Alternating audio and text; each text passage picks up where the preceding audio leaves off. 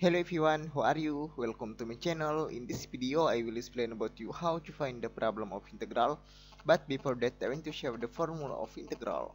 Integral of du over u square plus a square is equal to 1 over a times arc tan u over a plus c. Okay, let's do the problem. Integral of 2x over x to the power of 4 minus 4x square plus 7 dx.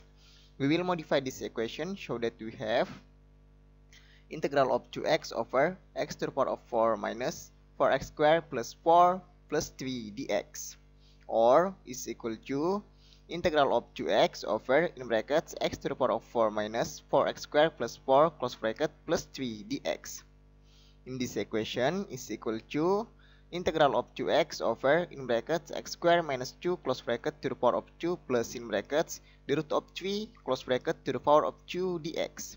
Okay let u is equal to x squared minus 2 then du is equal to 2x dx. And let a is equal to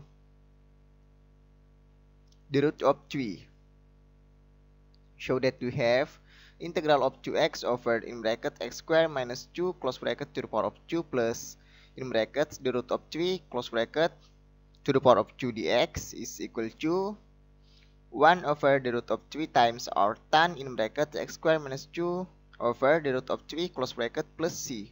Finally, we find the answer to this question. Don't forget to like, comment, subscribe, and turn on the notification bell. Thank you. See you next time.